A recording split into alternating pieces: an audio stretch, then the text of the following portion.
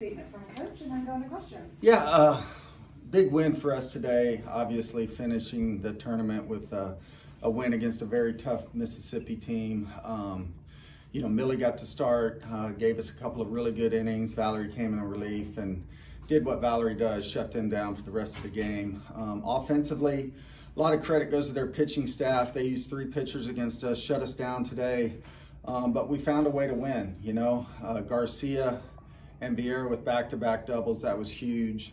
Um, clutch hitting by Abby in that situation, and that took a little pressure off of us. Um, and then, you know, we scored with a lot of walks and errors, um, put another four runs on the board, and that's something we've been working on is in with runners in scoring position, being a little bit more selective. So last week we struck out a lot in those situations, and, and today we drew um, four walks in that inning. So um, really proud of our team, the way we've we've grown in that area, and uh, big win and getting ready for Georgia Bulldogs on Wednesday.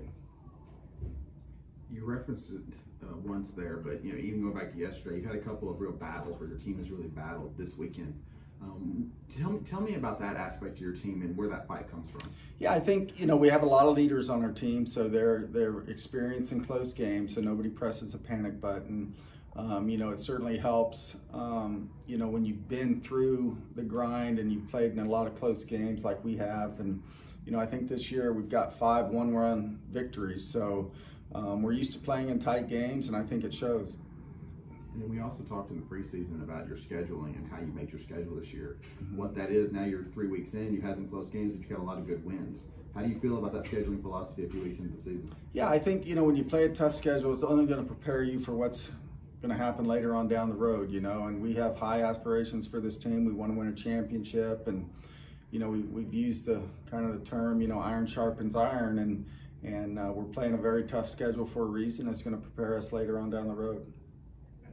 Coach, talking about preparation, next game, massive in Athens against Georgia. So, how does the preparation with this momentum, the Clemson Classic, to win all your games, carry over to Athens? Yeah, I think it's big momentum boost for us. We know Wednesday's going to be a you know a big crowd and a big game, and you know certainly two top ten teams going at it. So. Um, you know, we've every year we've played them, it's been pretty close with the exception of one of the games. So we know it's going to be a battle, and um, we know we have to bring our A game.